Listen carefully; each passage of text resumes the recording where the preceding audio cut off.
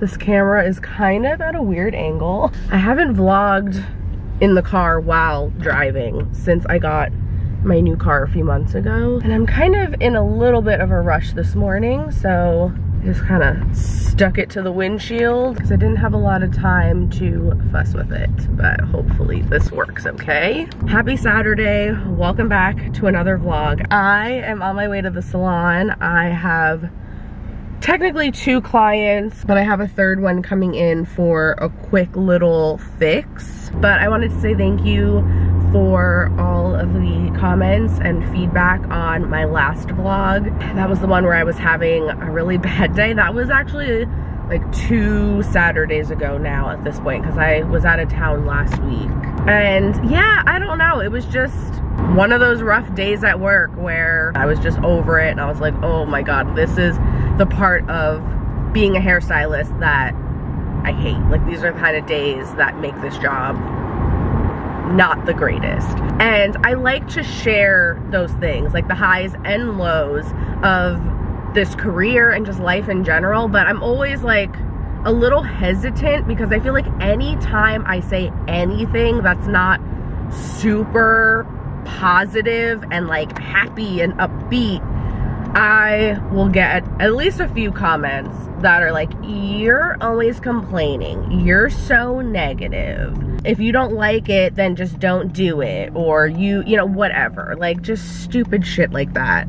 And my intention is not to come off like whiny and negative. And I did get a couple of comments like that. But for the most part, I had a lot of fellow hairdressers and just service industry professionals saying that they could relate and not happy that you can relate and have had similar experiences, but it's nice that at least like we can talk about these things and feel less alone. And I know there's like, I don't know, some people feel weird about me sharing negative experiences with clients on the internet that's fine. But it is what it is. And we all have these bad experiences. And some people sometimes can be really shitty and inconsiderate. And we should be able to talk about that stuff so that way we know we're not alone when these things happen. And that way we can learn from each other's experiences. And I feel like anytime I have a bad experience or I hear a coworker have a bad experience, I'm like, okay, how can we handle that differently next time?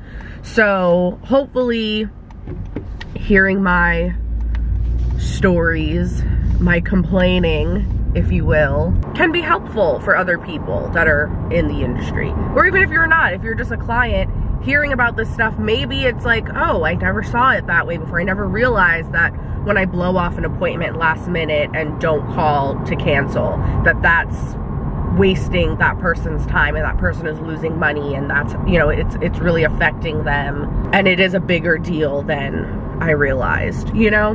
But yeah like I was saying I have three people coming in. It's gonna be a little bit of a crazy day because things kept getting moved around. I had someone cancel a couple days ago so I moved a client up a little bit and then someone reached out and wanted an appointment last minute. So I was like oh I should take it and squeeze her in because otherwise I don't have anything available until September. So yeah, now I kind of have myself triple booked, which I normally don't like to do because I don't have an assistant at the moment. So uh, it's a little tricky to juggle that many people at once.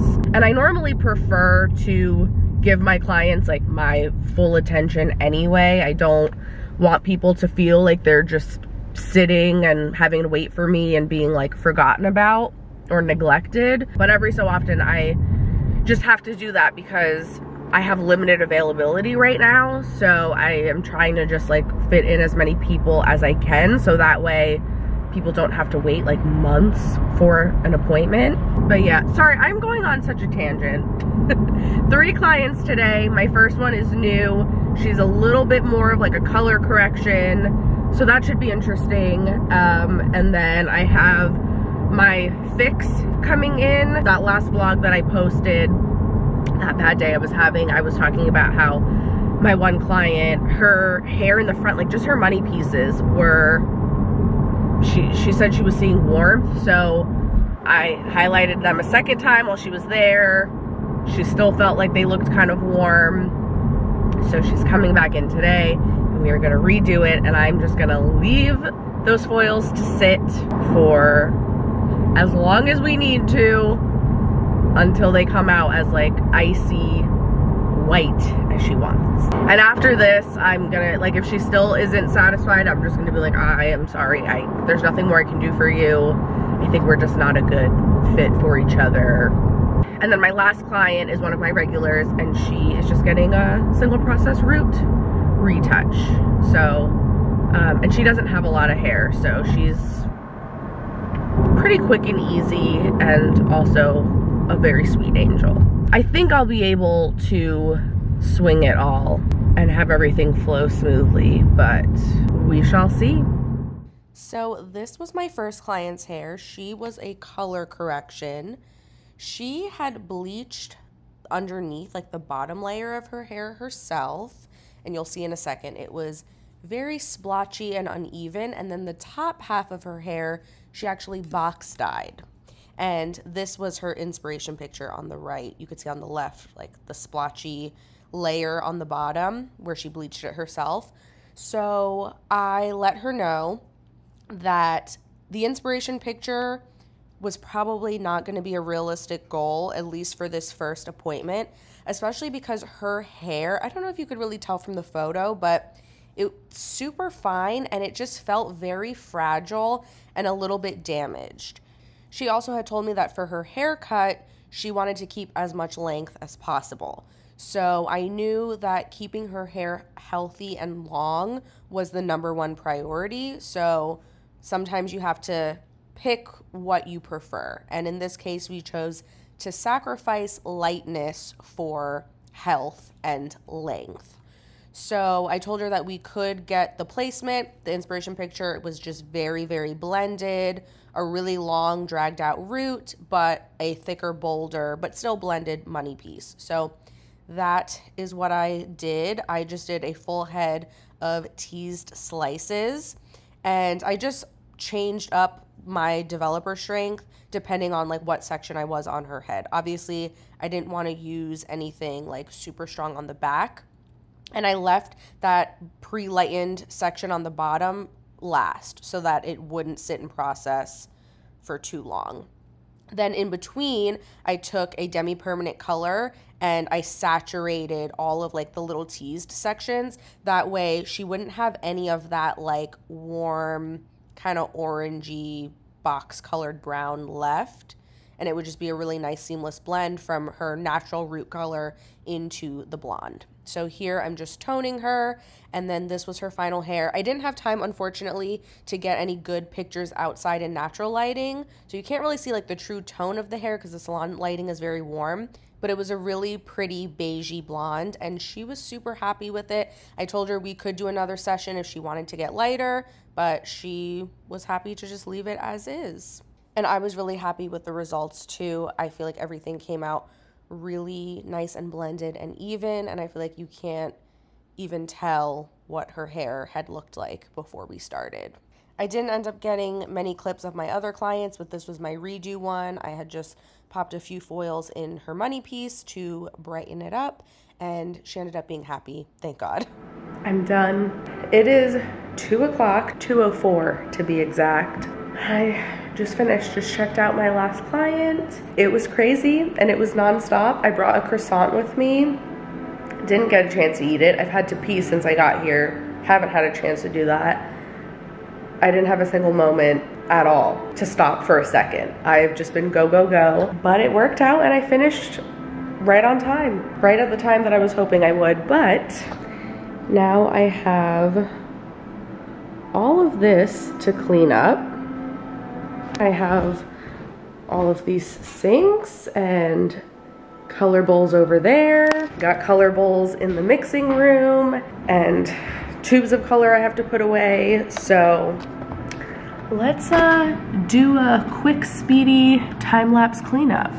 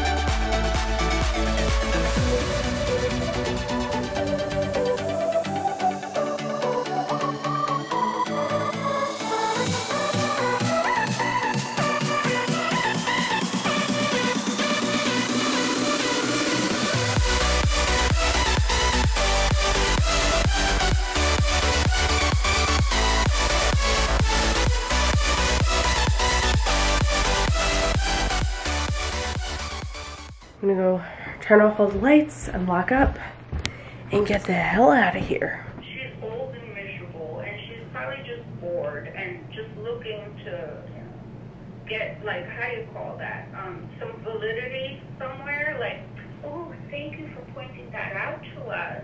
Hi. It's almost a week later. So earlier in this vlog, that day that I had recorded was the day where all of this went down. And it's crazy because I literally said in the vlog, I like referred to one of my clients that day as one of my regulars who's super sweet and she's great and like so easy and amazing and da da da. I thought, as I said in the vlog, I thought that Saturday went very smoothly. My first client was a color correction. As you saw, I explained the whole situation everything. You saw her hair, what we had to do with it. And then my second client was like the redo, sort of, if you even really want to call it that. I had did her hair a couple weeks ago. She wanted it really, really like white and icy. And the pieces in the very front, just like the money piece, didn't get as bright and as white as she wanted. It was the slightest bit warm and she didn't like that. So I offered for her to come back in so I could re-highlight it to make it brighter. It was literally one little spot. It was very, very quick. It took me maybe five minutes to apply, if even. And she just sat and was totally fine and had her mimosa and was good. And then my third client was just down for a single process. So I thought, okay, that's pretty easy too. Like I said, she's my regular. I already know her hair. I already have her formula. Her hair's very fine, so I know that it's like very quick and easy to do. She doesn't take long to blow dry. And every so often we do highlights as well. This was only the third time I've done her hair. So the first time she came in, I matched up her color. She was new to the area. She had color done by another stylist in a different state. We do a coppery, kind of like strawberry blonde base color, and then she gets highlights to add dimension to it. So the first time I color matched, got it perfect. She was super happy with it, loved the color. We did a couple highlights to add the dimension, brighten it up, whatever. And then I told her, let's not do highlights every single time because if you keep doing that, the base color can kind of get lost in the highlights. You end up getting a little bit too blonde and rather than having to then throw low lights in, like that to me is just so, like just doesn't make any sense. So I was like, let's just do highlights like every few appointments, you know, like we can kind of just play it by ear and see when you feel like you need it. And the first two times I did her hair, she was super happy and she loved it and she just kept gushing over like how happy she was, how much she loved the color, how she felt like it just complimented her so well and it lasts so well, it looks so good, da da da da da, whatever. She was happy and always like so nice to me and so pleasant. And the first time I did her hair, she was like technically double booked, but it was my friend that was there at the same time. So like obviously I gave the the client top priority because my friend you know, like she's just coming and getting her hair for free, so like she can just hang out and chill. She came in for her second appointment. She was single booked. She was my first client of the day. Nobody else came in until after I was done with her. Then her third appointment, which was earlier in this vlog, this past Saturday, I had her technically triple booked. And she did have to sit a little bit. Her appointment time was supposed to be an hour and a half long. She was there for two hours. So, you know, five minutes here, five minutes there, having to sit for a little bit. Obviously, her color has to sit and process. So I'm not gonna just sit there like talking to you while your color is processing. Like I have other things to do. Whether I have other clients there or not, I have to go clean up. I maybe need to go use the bathroom, maybe eat something for the first time all day, drink some water. But anyway, her consultation, you know, I was like, if, if you feel like you wanna do highlights, we can definitely pop some in, but I don't really feel like you absolutely need them just yet. I do think we can stretch it and wait another appointment and then next time we'll definitely do some. And she was like, oh yeah, okay, that sounds good to me, that's fine. So I went and mixed up her root color, I put that on, we chatted while I was doing her roots and then she had to sit and process. So then I went and I was like washing my other clients color out and doing other things and but I had set a timer and then once that timer went off I went and I rinsed her color out and I it it all lined up and flowed really well. She was there at the end of the color correction appointment when the girl was leaving and I had, you know, said like I, we didn't get as bright as you wanted, but blah blah blah all that. So she wasn't there when the girl first came in to see what her hair looked like originally. She was not there during the consultation. She wasn't there during the application process. She had no idea what I did to that girl's hair, what the situation was, what the backstory was, nothing. Also, is not a cosmetologist herself and does not know anything about hair color. I finish everybody. I have this lady as my last client, blow drying her hair, and at this point, I'm like, okay, she's my last one left. I'm gonna really take my time, do a nice blowout. I don't want her to feel like she was, which by the way, she was not neglected because the whole time she was in the same room as me. I was right there, the chair next to her. I kept asking her, are you good? You feel okay? Can I get you anything? She was kept saying she was fine. Oh no, I'm good, honey. Okay, you know, like I can understand if I left you in another room and I just disappeared for like an hour and you were like, what's going on? Did she, she forget about me?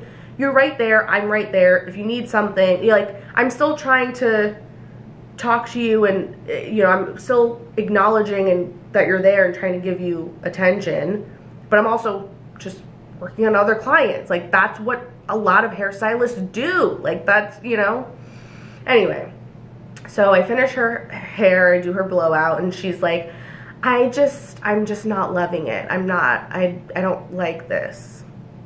Like, oh, what are you not? Because I also, mind you, at this point, I just had this crazy chaotic day. I had to pee since I got there. Didn't have time to do that. Didn't have a single second to do anything.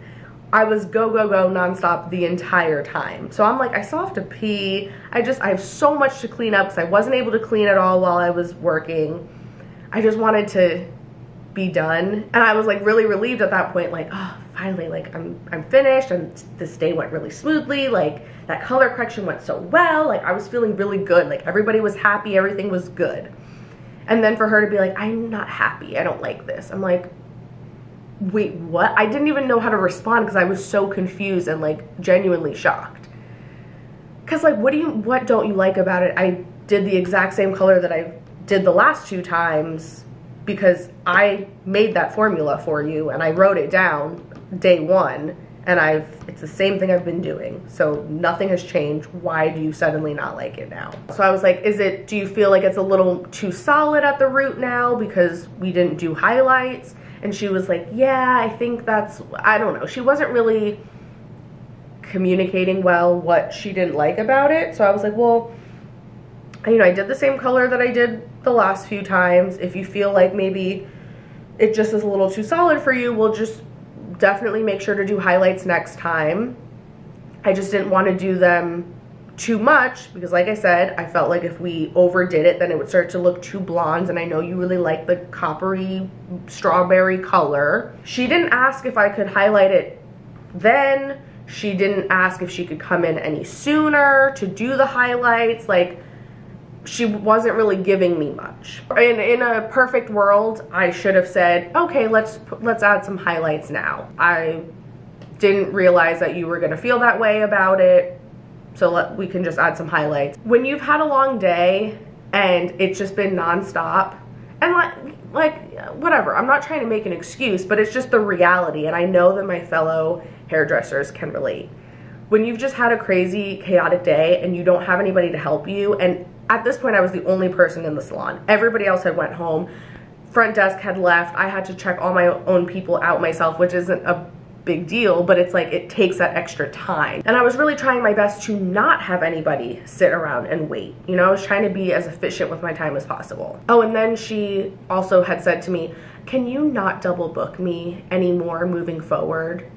And I was like, yeah, I apologize if you don't like that. That's totally fine. I normally don't double book clients. It just was a crazy day today. You know, I've had limited availability and I've been out of town, so I've just been trying to fit everyone in that wants an appointment. I wasn't anticipating that it would be a problem. So that that is totally fine. I will make sure moving forward I can book you as my first client of the day. That way there's no chance that there, will be any overlap.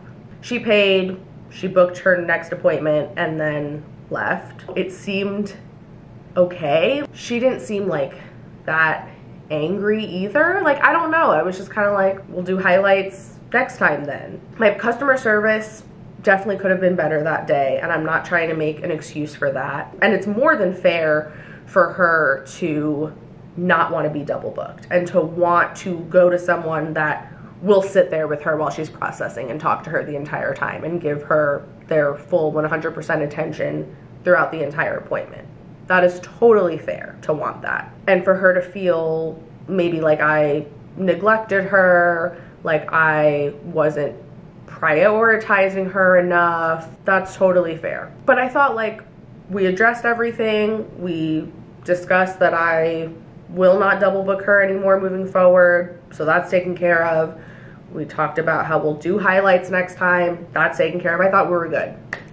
Next day, I get a text from my boss, and she copied and pasted an email that this client sent her, and it was just ripping me apart. Basically, saying that, like, she didn't have a good experience. She wasn't happy with her hair.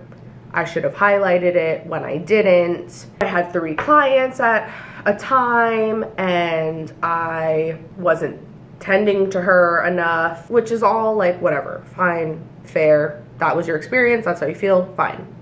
But then she starts talking about my other clients and she said that she had one girl there that was a redo that she was fixing because she wasn't happy with her hair the first time. You don't know the situation. You don't know what her hair looked like. You don't know what the redo was or what the issue was with her hair. And then she was talking about my color correction client and how, oh, then she had another client and she told her that it didn't come out like the picture, but they could lighten it uh, and do another session next time.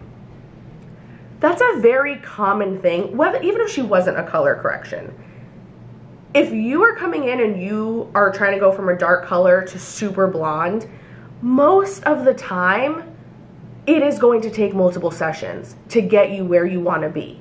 Period. Like that's just how it is. That's how it works but especially when you are a color correction. And you saw how many different colors were in that girl's hair and how like uneven and splotchy it was. And like if you could feel the actual texture of her hair too, like the fact that it was kind of damaged to begin with played a big part in it as well. Th that's just, that's not how these things work. It's not like you show me a picture and if I'm a good stylist, I can give you exactly what the picture looks like and then that's it. And it's woo, easy, simple. No, like it, it has nothing to do, like, it it, that is not a reflection of me as a stylist or my abilities and my skills. Like, you are just a moron who does not know anything about hair and color. And that's fine. No one is expecting you to, but don't speak on things that you know nothing about. And not only speak about them, but go and email my boss and try to, what, get me in trouble? Like, what is the point of even bringing up my other clients. It's none of your business. It has absolutely nothing to do with you. The outcome of their hair, what they were there for, whatever, does not affect you at all whatsoever. You're trying to use that as ammunition to tell my boss that I don't know what I'm doing the conclusion to her email was that she wants to be with someone that's more experienced because she just doesn't trust me, doesn't think I'm experienced enough, and doesn't think that I have good knowledge with hair color. Even though the last two times I did her hair, she was raving about how much she loved it and was super happy with it. Now all of a sudden you had one bad experience because I didn't give you the attention that you wanted. Now all of a sudden I'm a terrible stylist and I don't know what I'm doing. And because I didn't do highlights on your hair. It's not like I fried your hair off, messed up the color. I could understand if like the color was really bad and just didn't come out right. It was uneven, if it didn't match with the rest of your hair, if your hair got damaged, if there were splotches or I messed up your haircut or you know like things like that. No, I didn't do highlights on her hair. Oh, and, and so she specifically said that now her hair looks like she just threw Sally's box color on it. I obviously explained like the full situation to my boss and she knows my experience and she knows that I obviously know what I'm doing. I hate feeling like now I have to defend myself and explain myself. But like what was the point? It's one thing if you're to complain to like your husband or your friend or whatever about it. Like, "Oh, and then she had these other clients there that da da da." But to go tell my boss, what is the point of that? Like what was your intention there? To get me in trouble, to have for there to be some type of repercussion, to get me in trouble, to get me fired, what did I do to you that you hate me so much now all of a sudden when you've had good experiences with me before? I know that she like has some stuff going on in her personal life and I was just on the phone with my mom a little while ago and I was like, you know, maybe it's that like I, i'm trying to just give her benefit of the doubt and like not take it personally and like maybe she just has stuff going on and she's just kind of lashing out and maybe I, I feel like when you have a lot happening to you that's like out of your control, when you finally do have something where you feel like you can take control a little bit, you take that opportunity and you might lash out on someone that doesn't necessarily deserve it. But my mom was like, yeah, but I could understand if she was like making a scene in the salon, like in the moment. But the fact that she went home and like slept on it and like waited a whole day and like typed that out and then still chose to hit send. Like that feels very malicious and like thought out and not just like a heat of the moment kind of thing. It's really not a big deal. And that's the thing, I feel like whenever I vent about this kind of stuff, like I said in the last vlog, I feel like I always will get comments where people are like, well, you should just not do this job then, or you should do this. At the end of the day, it just is what it is. You're not gonna always make everyone happy. You're not gonna always click with everyone. And the way that you do things, a bunch of people might absolutely love it and think that you were the best. And then there's some people that think you suck. That's fine. You know, it just is what it is. And there's no avoiding it. You can be the best stylist out there and you can try to be as perfect as you can. But at the end of the day, we're human. And sometimes you just have a bad day where you're stressed, you're overwhelmed. Maybe your schedule is a little bit chaotic. Maybe like you're running behind because of something, you're rushing, whatever. Like shit happens sometimes. Or maybe your client is just really impossible to please and is difficult. And you know what I mean? Like you just can't avoid this kind of stuff. And it sucks that just a couple weeks ago in my last vlog, I had a rough day and now I had another one like back to back. But really like in the whole like past oh, year almost since I started doing hair again, it's been smooth sailing and it's been really great and I haven't had any issues with clients it was bound to happen. Obviously, that client wasn't the right fit for me, and that's totally fine. And it's for the best. It's kind of a relief to like not have her on my schedule anymore. And yeah, I don't mean to like harp on it and make it a bigger deal than it is, but I do like to share these things. A, because it's nice to vent, um, but B, I know that, I don't know, whenever I go through experiences like this, like obviously now days later i'm just kind of like all right whatever. I've bitched about it enough. I've processed it. I've i'm like it's fine.